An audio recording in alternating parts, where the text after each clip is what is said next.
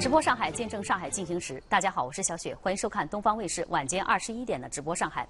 上海市委副书记、市长杨雄今天下午与国家电网公司董事长、党组书记刘振亚一行举行了工作会谈，双方就加强市企合作、推进特高压电网建设等达成了更多共识。杨雄对国家电网公司多年来的大力支持和在重大活动期间的出色能源保障表示感谢。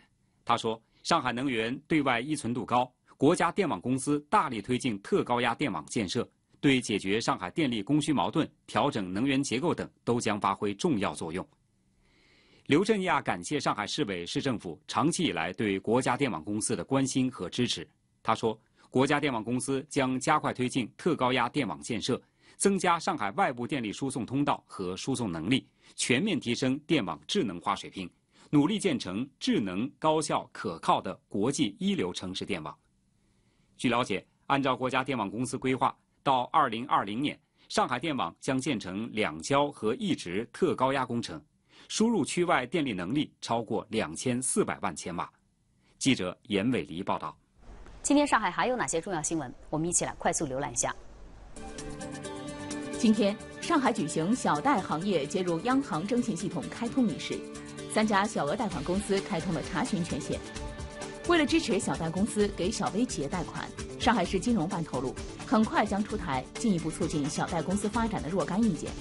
小贷公司将名正言顺地成为金融服务类企业，未来可能会由银监会管理，并享受相应的税收奖励政策，并设立退出机制。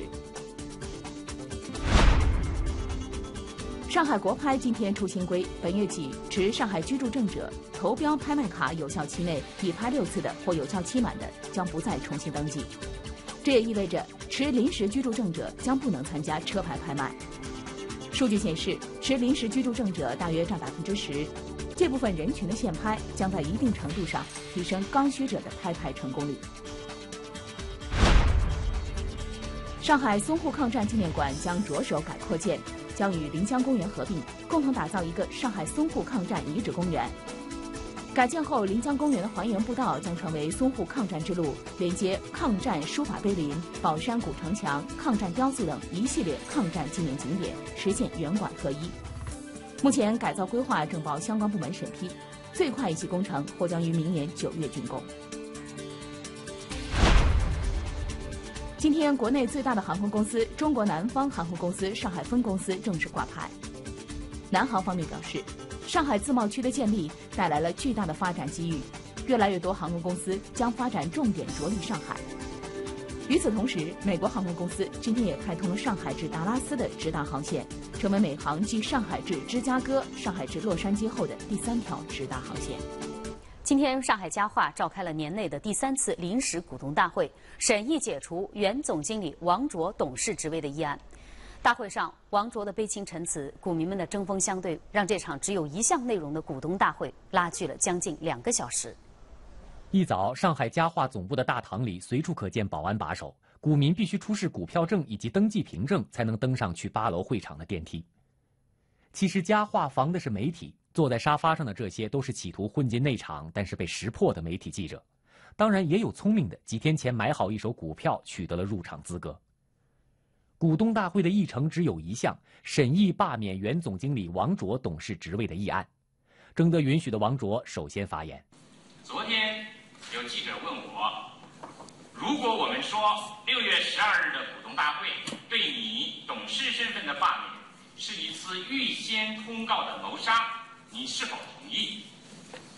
我的回答是，可以这么比喻，但这究竟是现任董事长个人的行为，还是大股东被倒逼的结果？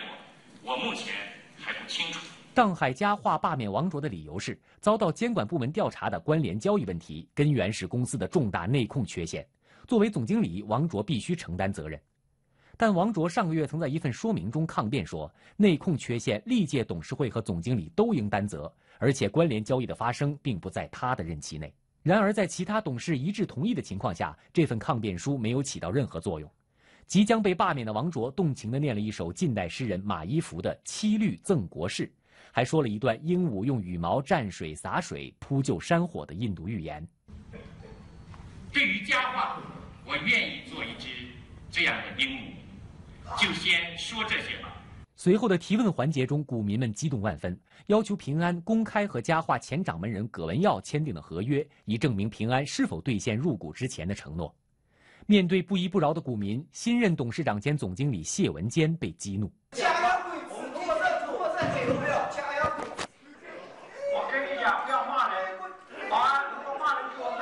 近一个半小时的拉锯后，投票终于进行，最终王卓被罢免，反对弃权票占百分之五。今天股东现场已经非常看出来了，董事长滥用私刑要把股东扔出去，这是我不知道这是有国际管理经验的人会说这样的话。离开了会场的股民们依旧怒气难消，但在专业分析人士看来，上市公司大股东有权按照自己的意愿做出选择。还是就整个市场还是讲股权文化嘛，我们还是强调一个股权文化在资本市场当中应该发挥一定的作用。所以呢，呃，平安的做法我们觉得也没有错，实际上他还是发挥正常他他股大股东的一个呃意愿嘛。只要未来平安能够按照市场化原则对嘉华这家上市公司进行一个合理的一个治理，那我相信二级市场投资者可能还是会看到呃嘉华的一些改善的。嘉华的人事变动最终落定。市场也认为嘉化的负面事件将基本结束。截至收盘，上海嘉化报三十三点九二元，涨一点六二元，涨幅为百分之五点零二。东方卫视记者葛笑兰报道。备受关注的北横通道建设项目，目前呢进入到了实质性的启动阶段。上海市交通委在昨天晚上发布了消息，说横跨深城中心六区的北横通道将基本不占用现有的道路资源，而是以地下和高架道路为主。建成之后，将大大的缓解延安路高架的通行压力，成为上海市中心城三纵三横骨架性主干路网的组成部分。目前，北横通道工程建设指挥部已经成立。根据规划公示，北横通道全长约十九点四公里，西起中环北虹路，沿途经长宁路、长寿路、天目路、海宁路，最后至周家嘴路越江工程，基本与延安路高架平行。从长宁到杨浦，穿越六区。这条通道主要可有效分流延安路高架车流，同时与上海南北向主要干道均互通联系，有助于路网衔接和均衡。北横通道建成以后呢，对支撑中心城东西向主轴的发展。呃，特别是苏州和呃区域这个沿线的重点地区，以及这个东西向交通的这个可靠性，起到了一个很大的一个作用。北横通道的建设基本不占原有道路资源，而是向空中和地下两个方向拓展。北虹路至泸定路、长安路至晋源路规划为高架道路，共约二点四公里；泸定路至长安路、晋源路至虹口港采用地下道路，共约十点五公里，占到通道全长的一半以上。直到吴淞路以东才走地面道路。此外，为确保南北道路连通，还将设大连路、黄兴路、隆昌路三处下立交。从改善交通这个角度来说，就是未来利用地下空间来解决交通问题，我觉得也是一种趋势。但是，上海的交通问题不是说靠一条北横通道就能够解决的，还要通过比如说我们交通方式的引导。东方卫视记者施蒙娜、谢丹。好，今天给大家带来的新闻就是这些。稍后请继续收看电视剧《犀利人师》。